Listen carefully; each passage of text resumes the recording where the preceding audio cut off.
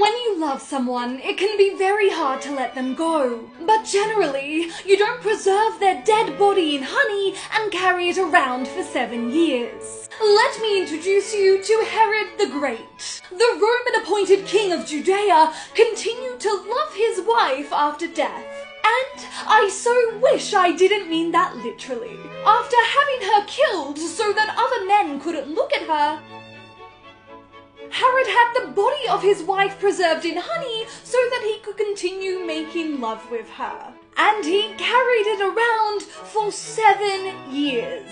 And I. You're done. You're done.